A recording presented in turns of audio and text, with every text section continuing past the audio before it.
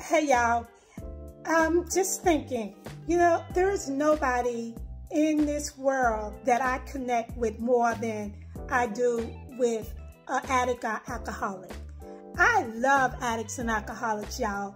That's because I know exactly what you're going through and you know what I go through. You know the craziness up in my head that I can't explain to anybody else.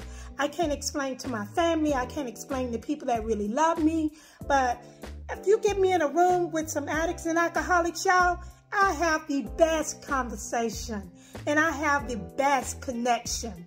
So what I'm saying to the addicts and alcoholics that are still struggling, you are not alone. And there are people like you that get it. And I'm one of them. So if you need to reach out to someone that's a recovering alcoholic or addict, here I am, y'all. We do recover. You guys have an amazing day. And remember, we love you here at Silver Lining Nation. Bye, y'all.